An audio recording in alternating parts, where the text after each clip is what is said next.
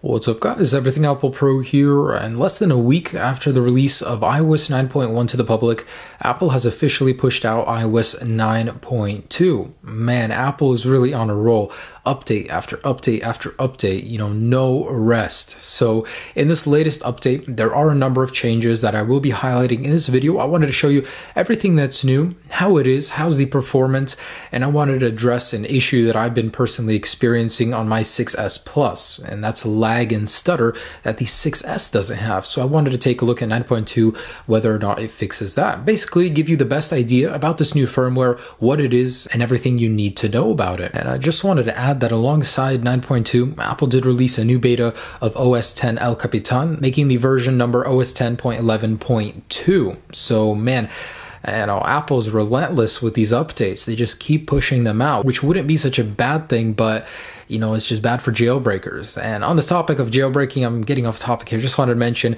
it's been made completely legal. No more exceptions. It's just completely legal to modify your device, and that's great news in general. So the DMCA Act has been updated, which is awesome. But anyways, so after updating 9.2, I got to tell you there are some key changes, but foremost, I wanted to say that storage-wise, it went from 10.1 to 10.2. So 0.1 was returned to me. There is a new carrier uh, version as well. So don't know how that affects the cellular performance. But in general, performance wise, I wouldn't say there's much of a difference on the 6S, but I wanted to actually talk to you guys about the performance in general on a 6S versus 6S Plus. So take a look at these animations. Since this is in 60 frames per second, I wanted to show you guys how animations look on a 6S and then a 6S Plus. So if I actually go into the side app switcher, the animation is very smooth. I mean, it's just there. It's very fluid. Now look at it on my uh, 6S Plus running 9.1. There's a choppy stutter.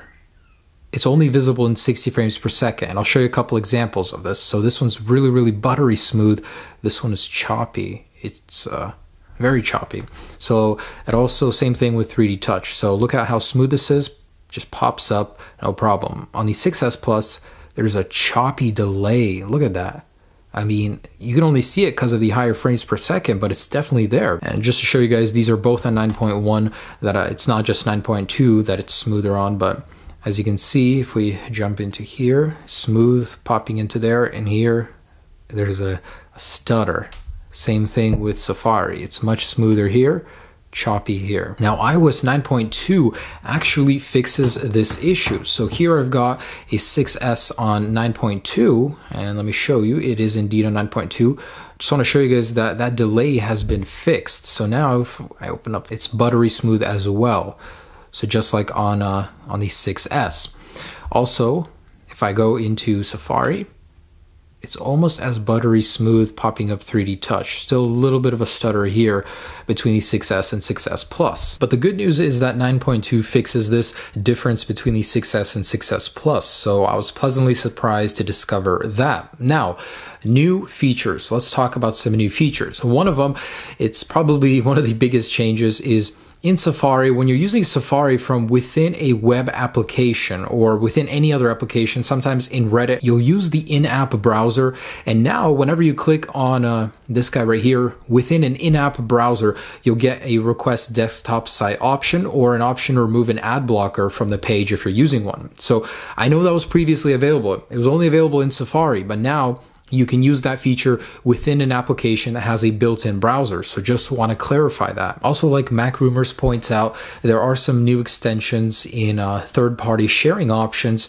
in the Safari application. So now you have 1Password and there might be a couple other ones in there. There's also a new language in Siri. So if we go into languages, there is now an Arabic option, which was previously not available. And there's actually a lot of changes in the music application. You know, very, very minor stuff, but I've actually got 9.1 on the right, 9.2 on the left, same music loaded on both of them. So take a look at the view over here. So on 9.2, the actual icons for recently added are smaller, and I don't like that. I prefer 9.1. I like the larger icons. I don't know why uh, they're smaller now, but they are.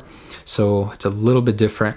And actually, the icons for when you have music on your phone, if I go into the artist, you'll see that the little phone icon on the top right is different. Instead of that little corner design, it's now just a little tiny icon with a little check mark. I'll try and zoom in on that. So just like that, you see the difference there? It's very, very minor, but that's also more apparent when you open up an entire artist or album. If the song is loaded on your device, you'll now get this icon right here. So it just looks a little bit different. Also in the music application, if we actually click on uh, the other settings over here, it's slightly different. It says remove from my music instead of delete and you get a little icon right there. So slightly reorganized, a little bit different inside the music application. So tiny little changes and that's just about it. And lastly, something I noticed when either restoring your phone or restoring to a backup, you'll get a different animation for the loading. It starts from the middle and pushes out to the sides. Not sure if that's a feature or a bug. iOS 9.2 actually addresses some issues as well. A lot of bugs have been fixed. I mean, this is probably the firmware that the iPad Pro will ship with. So Apple wants to make sure, you know, it's already fixed and functioning firmware. Anyways, I ran a Geekbench before on 9.0.2 and this is what I got. So 2541 score.